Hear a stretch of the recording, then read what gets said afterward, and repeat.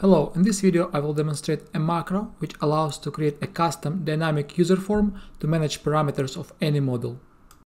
This enables a very simple way to enable design automation in your models. Let's start by automating several parameters of this shaft model. This model contains several driving dimensions such as length and diameter. We can download the macro from codestack.net website. Let's navigate to the SOLIDWORKS Tools section part category, model configurator. You can read instruction of how to configure and use this macro. For now, I'm just going to copy the source code, come back to SOLIDWORKS, create new macro, set some name, and paste that code into newly created macro. This macro consists of two parts. The second part is user form, so we need to scroll down and copy the corresponding code. We need to assign the configurator form username to the newly created form, otherwise the macro will not work. So let's create a new form. Let's specify the configurator form username, go to code, and paste the code from our buffer. Setup is now complete and we can run and test our macro. In order to run the macro, we need to pre-select the dimension which are going to drive our design. To make things easier, I'm going to show feature dimensions and pre-select those two dimensions. Now let's run the macro. Macro will ask a user-friendly name for each of the selected dimensions. So for the first one, we're going to specify length, and for the second one, radius. As a result of running the macro, we're going to have a new configurator feature in our feature manager tree. We can click edit feature command and modify the input parameters. So let's change our lens to 150 mm and our radius to 25. After clicking apply button, our model is instantly updated.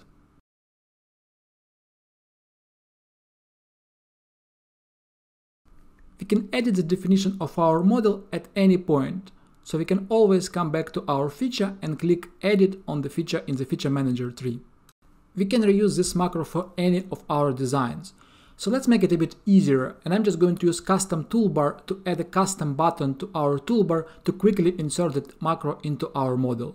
So let's create a new group, call it design automation. Now we can browse to the configurator and just specify the title for that macro, some description, and we can also use an icon. So it's going to be displayed in our menu and a toolbar. Currently this macro will only work for parts, so let's enable the part scope for our macro so we cannot run it in any other environment. Now we need to restart SOLIDWORKS to apply the changes. Let's restart SOLIDWORKS. Now we'll be able to find our new design automation command in the menu and also in a toolbar. So let's activate the toolbar and click that button to automate another design.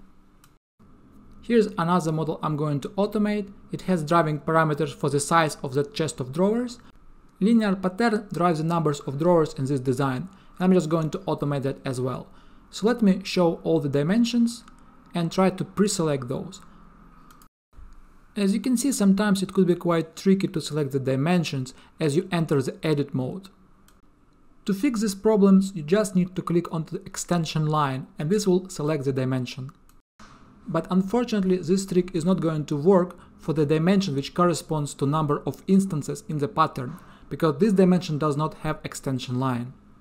In order to address this issue and disable the behavior of editing by click, simply disable Instant3D in your model. Now you can easily select that dimension and also all other dimensions. So let's go ahead and pre-select all of our driving dimensions and run the macro. Let's now specify user-friendly names for all our parameters. Now let's hide our dimensions and test the macro. Edit feature and let's modify several parameters of that design. As you can see, model is updated as per our inputs. Furthermore, you can see that number of drawers is changing according to our specified value. Of course, all of the parameters and feature will be preserved in the model, so we can close the model, close our session, reopen the model, and we can still configure our feature.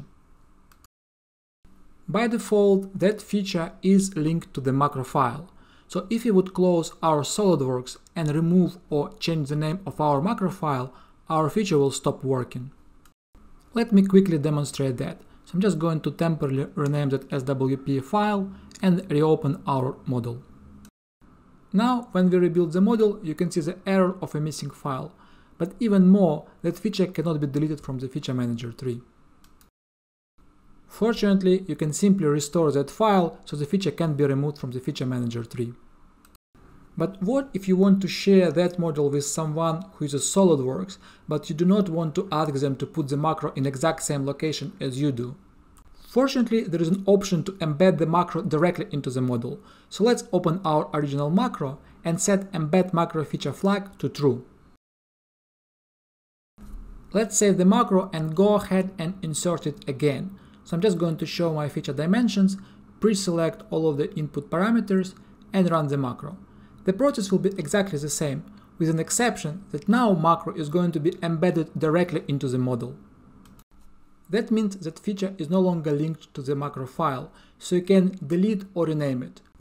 Even more, you can send this model without a macro to anyone and they will be able to open it and configure the design. So as you can see, I could configure my model even after I renamed my macro. Please follow the links in the description of this video for the URL for downloading the macro and the tool to manage macros in the toolbar. Thank you for your time.